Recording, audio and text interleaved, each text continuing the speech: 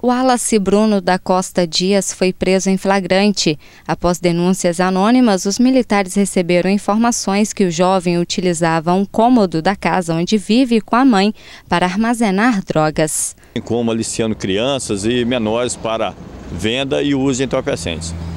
Aí, diante dessas denúncias, deslocamos até a residência dele.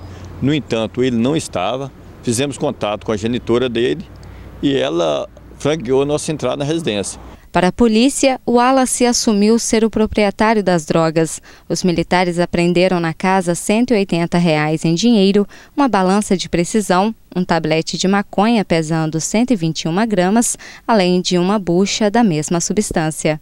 Vale ressaltar que o nosso trabalho é, está diretamente ligado ao esforço dos militares e também à denúncia anônima.